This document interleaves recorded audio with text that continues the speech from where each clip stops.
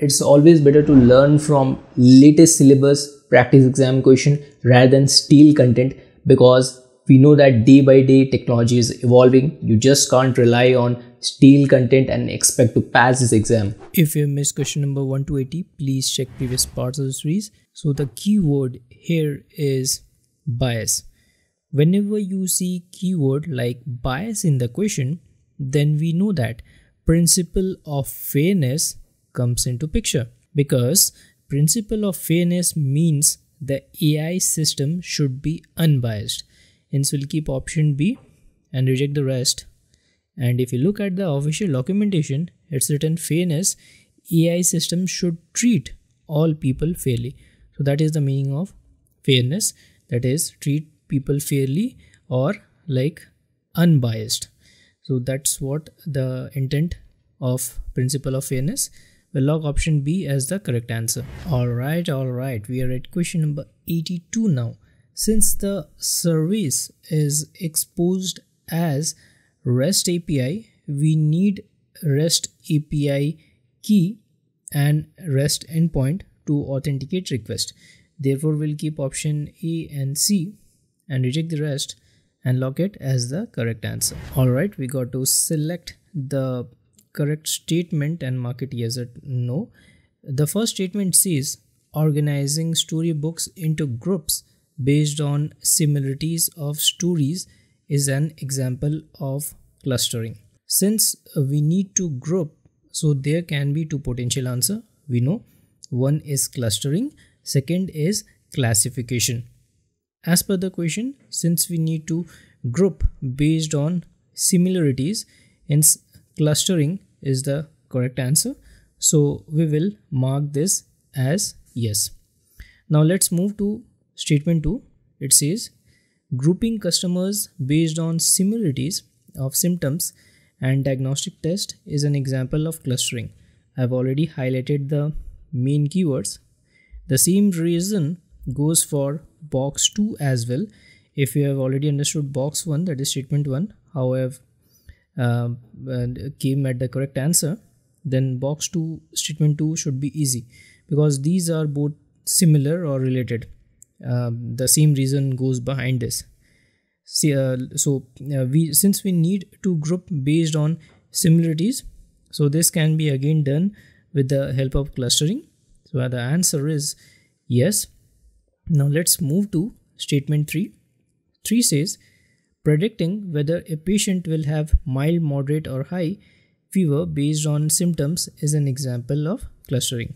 Since this time we need to group into mild, moderate, or high, that is, uh, we also need to predict here as well.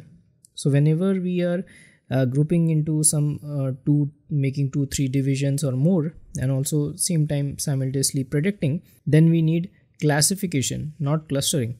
So the answer is no for this and we will log this as the correct answer. Let's bring the heat to the snow. We'll look at our statement 1 first. Statement 1 says validation set incorporates a set of examples which can be used to train a mode. A validation set is different from a test set, we know. So the answer is no for this. Let's move to statement 2.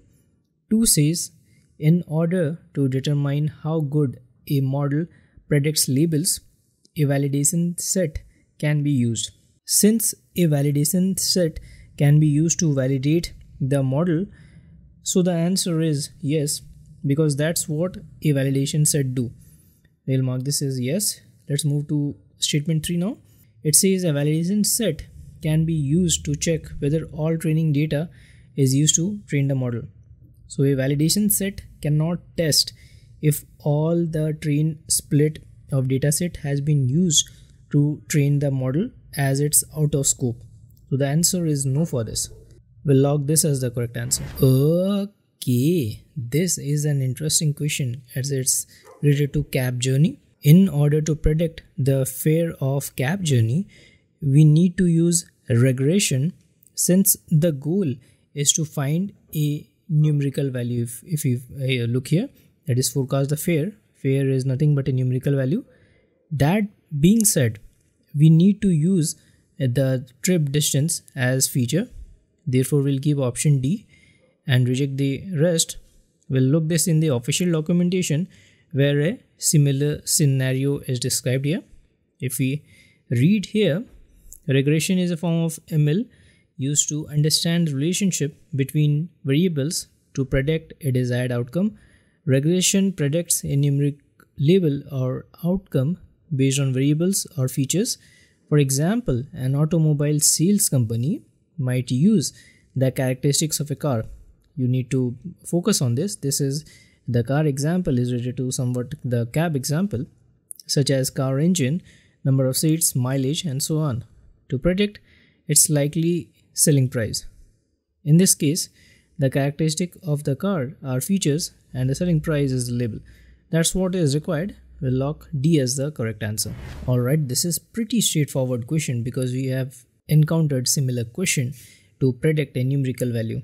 Since we need to predict a number or a numeric value, therefore we need regression. We'll keep option A and reject the rest and lock it as the correct answer. Alright, alright, we need to fill in the blanks. So we can create machine learning models using adding and connecting modules on Visual Canvas. In this option A, if we look, that is by adding and connecting modules on the canvas, this looks good. We'll uh, keep this and uh, reject the rest and lock it as the correct answer. Alright, in order to answer this type of question, you need hands-on.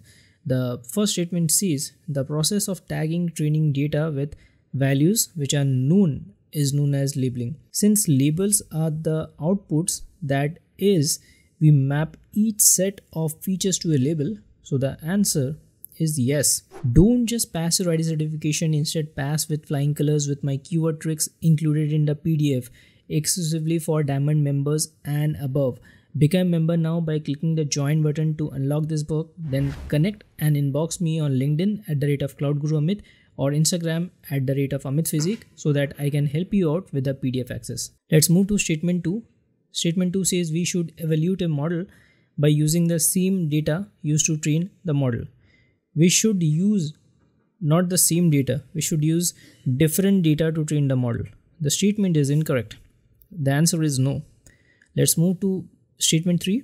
It says accuracy is the main metric used to measure a model's performance.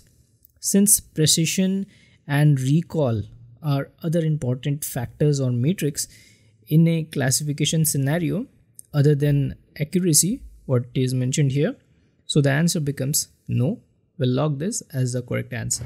Okay, another interesting question related to ML Designer. This will test your concepts.